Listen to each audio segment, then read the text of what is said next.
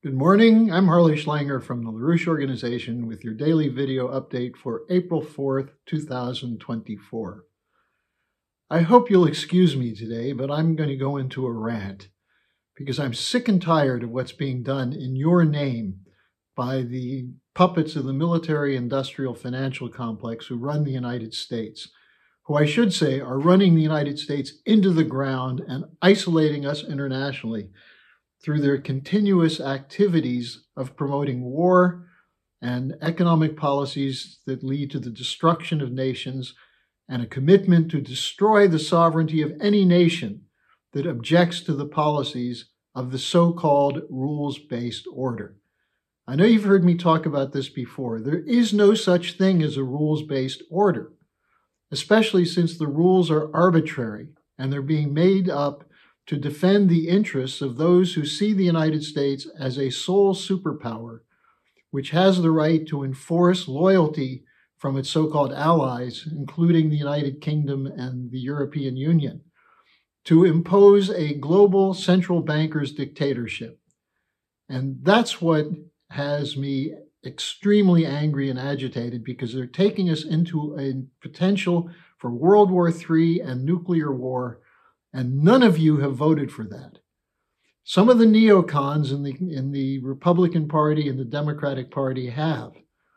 And the two parties as a whole are really just one party, a war party, an austerity party, a neocon, neoliberal gang who march to the beat played by the drummers of the City of London and Wall Street.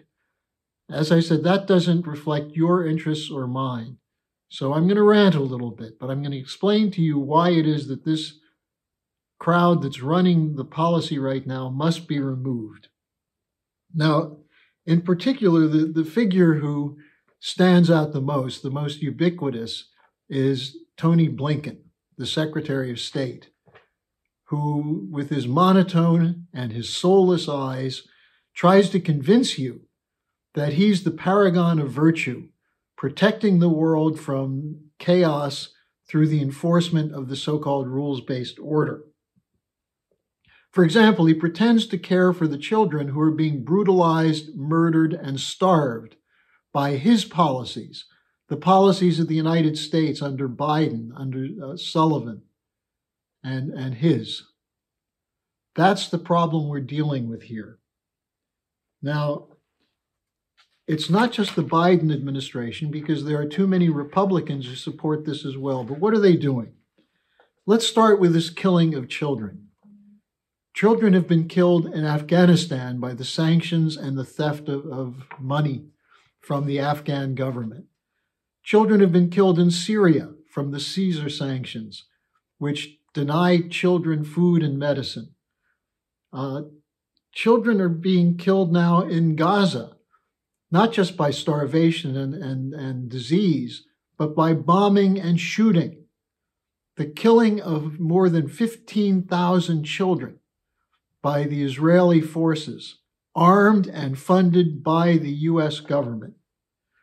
Now, it's not surprising that, that Blinken would be indifferent to the killing of children. His mentor was Madeleine Albright, who bragged that 500,000 Iraqi children dying because of US sanctions was worth it to get rid of Saddam Hussein. The same Albright who probably right now is rotting in hell next to Henry Kissinger and Lord Rothschild. Now, the, you see Blinken crying crocodile tears over the lifeless bodies of children in Palestine while continuing to supply the weapons to the Netanyahu government and the political cover and the money to a government which is doing the killing. He's attacking Putin for not recognizing international borders. Well, U.S. troops are still illegally present in Iraq and in Syria after there were lies spread to justify the invasion of those countries and the destruction of those nations. And Blinken continues to defend the lies.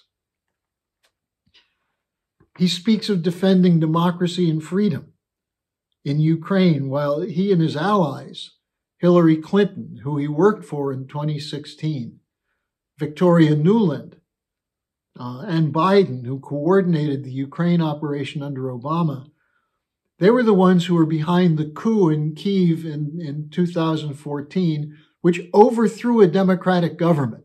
How is that democracy? If you don't like a government, you overthrow them. That's the policy of the so called rules based order. They lied about supporting a peace agreement that was crafted at the Minsk Accords. And they, why did they lie? To buy time to arm and train Ukrainian forces to deploy them against Russia. This has nothing to do with defending Ukraine. The Ukrainian Azov Battalion and others were carrying out a genocide against people in Donbass because the Donbass population, the eastern Ukrainian population, objected to the coup. And when they objected to it, they were subjected to bombing and shooting. More than 14,000 people were killed in that. And when Putin kept appealing to the West, stop it, let's have some kind of a, a change, including the Minsk Accord, which supposedly would give some limited autonomy to those people. We find out later that Merkel and Hollande, the Chancellor of Germany and the President of France, who were supposed to be the enforcers of the Minsk Accord, knew it was a lie to buy time to arm Ukraine. And we talk about the Russians lying. How do you think that looks to the rest of the world? Then you have the sabotage of the attempt in the end of March and early April 2022, within a month after the launch of the special military operation by Putin. Uh, you had a treaty that was agreed upon in Istanbul, agreed upon by the Zelensky government and the Putin government, and it was sabotaged. And as a result, maybe 400,000 to 500,000 Ukrainians have died because of the refusal to have a negotiated peace. That's the so called rules based order.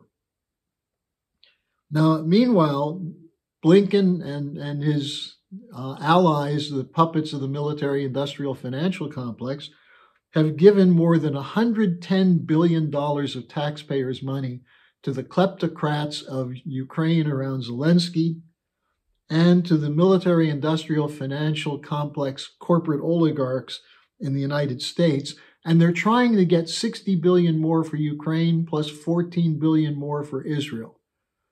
Is that what you voted for when you voted in the last election? To have your tax dollars go to the hands of oligarchs who are killing children and committing genocide? If not, it's time you do something about it. Now, then you have the expression of sympathy from the Biden administration to the victims of terrorism in the Crocus Music Hall attack uh, last month in Moscow. Well, meanwhile, there's evidence emerging that it was a possible U.S. MI6 hand operating through Ukraine, which ran the so called ISIS K terror operation. Now, whether you can pin down or not a US MI6 hand. And I, would urge you to look at Kit Klarenberg's most recent article on that. What we do know is that the US helped create ISIS and Al Qaeda going back to Brzezinski's policy and Kissinger's policy in the 1980s and George H.W. Bush's policy in the 1980s of arming the so called Islamic terrorist movement in Afghanistan to fight against the Russians. And then again, in Iraq after the illegal invasion in 2003, ISIS essentially was created inside the prison camps maintained by the Americans. So, if you look at the so called war on terror, what has it been? A war on uh, free speech in the United States and a, defense of so called moderate rebels who are conducting mass murder in Syria, and continuing to destabilize much of the world. And now deployed into Moscow to kill more than 140 citizens in the recent Crocus murder spree. Hmm. now, why did this happen? Because the US took over the British Great Game. The Great Game was the operation of the British Empire from the middle of the 19th century up until essentially the 1950s and 60s, where the British were pushing policies of geopolitical provocations, wars, and conflicts, the clash of civilizations, as it became known, for the purpose of defending the British Empire. But when the British became too weak militarily and financially to sustain it, they handed it over to the United States through such operatives as the Dulles brothers and others, the, the friends of Prescott Bush and the Harriman interests and the Rockefeller interests in the United States. And they took over the British Empire, but continued to have the British not only as partners, but as coordinators, as the so called brains behind the policy, because it was a British policy. And part of that was the creation of the Zionist state of Israel, using the sympathy from the extermination of Jews in the Holocaust to create a murderous state in the, the Middle East on behalf of British interests, on behalf of the imperial interests. And we've seen 75 years now of ethnic cleansing against the Palestinian population, which is continuing at an accelerating rate under the current Netanyahu government, but has the support of almost all the political leaders in Israel. This is totally different from the United States that emerged from World War II under the leadership of Roosevelt, then Eisenhower, who warned against the military industrial complex, and John Kennedy, who was assassinated because of his attempt to establish a policy of detente with the Soviet Union and to break with the policies of the Eastern establishment. So maybe you're like me, you're tired of watching people like John Kirby, the spokesman for the National Security Council, or Matthew Miller, the spokesman for the State Department, lying day after day to a press corps which is increasingly asking some tough questions, but not pushing them fully. They're defending the policies not only of the US government, but of the Israeli government in its uh, genocidal attacks on the Palestinians. So, where is the action to stop these crimes. Why will they not stop a crime when they say it's a crime? They say, oh, we're so sorry. We, we tell the Israelis to, to protect humanitarian concerns. Well, how does it protect the Palestinian population when you send 2,000 pound bombs to Israel, when you promise them new F 15 fighter jets, when you give them the artillery and the money they need to continue the extermination of the Palestinian population? Where is the morality in that? Where is the uh, adherence to international law? It's not there. And that's the problem we face. And this disrespect for the idea of real international law. For example, the UN Security Council resolution, which the United States is now saying was non binding. Well, when resolutions have been passed in, in, in the previous times, did the US say they were non binding? No. This is more of the same policy of imperial madness. And most importantly, none of these people are speaking for you or your interests or the interests of your children or the children of other nations that are under assault from these policies. Now, I, would urge you to watch the dialogue I had yesterday with Helga Zepp-LaRouche, where she took your questions and gave very precise and provocative answers designed to get you off your behinds to join with us to topple this establishment. Now, Helga Zepp-LaRouche epitomized the true statecraft, which was that of her husband, the late Lyndon LaRouche. And you'll hear from her a lot of discussion of the actual solutions to these crises as opposed to the flamethrowers who are building them up to the point of putting us on the verge of a nuclear World War III. Now, finally, tomorrow is Friday. I'll be taking your questions and comments. If I've provoked you, either provoked you to, to ask questions or to rant at me, let me hear from you. Send me your questions at harleysch at gmail.com, and I'll see you tomorrow.